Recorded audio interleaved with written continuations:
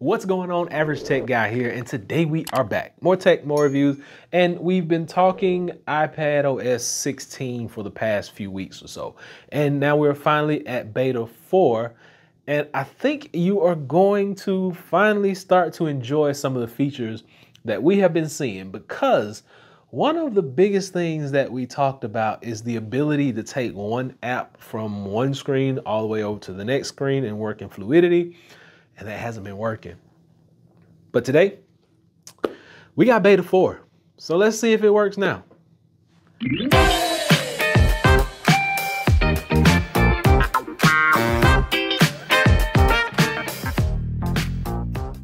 So of course we do have gaming working now, kind of sort of. You don't have the black bars on the screen, but you do see the game on the screen right here and no black bars, but we do have a kind of semblance of a full screen game. We're waiting to see if we're going to get actual full screen gaming though. Like this isn't full screen. We want a whole screen.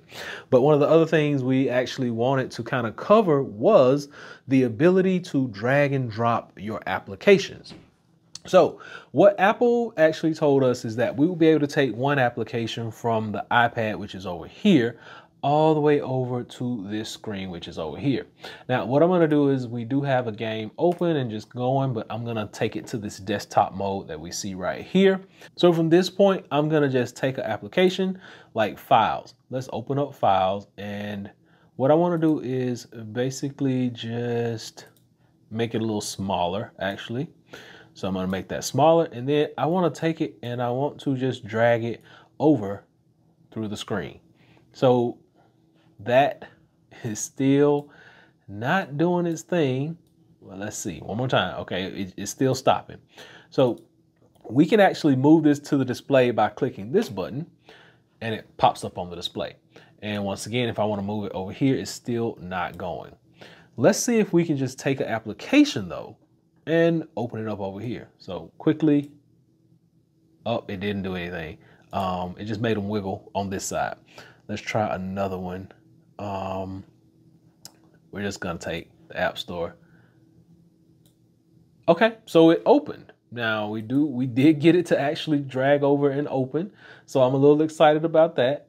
And we were supposed to be able to open up multiple windows. So we got two open now. We know that it always froze up at the two um, application marker. So let's try three applications. Let's open up another window. So it's still not available yet. So it's still giving us that. Um, let's let's get that once again. We get that notification that still not available yet. So we would have to drag an application up to open it. And let's see if we can take this application. Nope, doesn't come over here. So we still can't just fluidly like with fluidness, just drag and drop, drag and drop. But we did get the application to open over here. Let's see, we got Best Buy, didn't open. Um, Apple TV, didn't open. Um, LumaFusion, didn't open.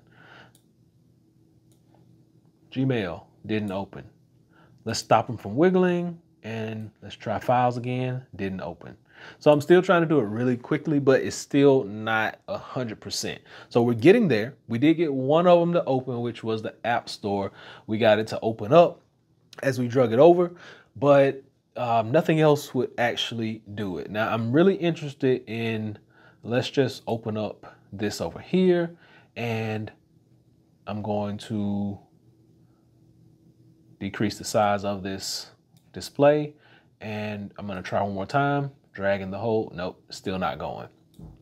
Now, you know, we can have four applications running on each device. We still can do that, but the ability to be able to drag from one to the other in Stage Manager, desktop to the iPad, and then iPad back to the desktop display It's just not working right now. So we're just gonna keep an eye on that and hopefully it will be ready sometime in the near future.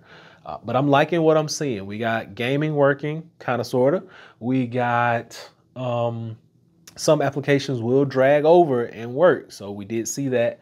And we still have the ability to have multiple applications open. So I'm, I'm, I'm keeping my fingers crossed and we are highly optimistic that they will get this working and they will get this figured out. So hopefully this has been able to help someone out. We got more videos coming on this subject. We're going to be breaking this thing down, opening it up and just making sure all this stuff that Apple promised us will be working.